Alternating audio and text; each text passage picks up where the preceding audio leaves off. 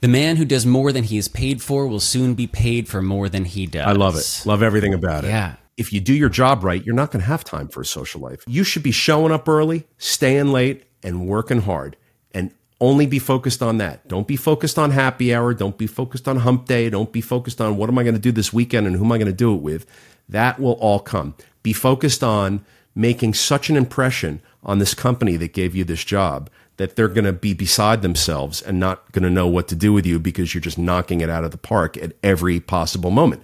That comes with hard work, focus, dedication, long days, long hours. Yes, yes, yes. Hey, can you be here at 8 a.m. on a Saturday? Yes. Hey, sorry to trouble you. Can you work late on Sunday? Yes. When you're 21, I don't care about your work life balance because everyone else is caring about work life balance. When you're 21, grind your knuckles to the bone and work your ass off. And your job is to impress people so much. They're like, wow, guy comes early, they stay late. She says yes to everything. She never lets me down. She's reliable. Like, that's what you want. This is your opportunity to define yourself as those things.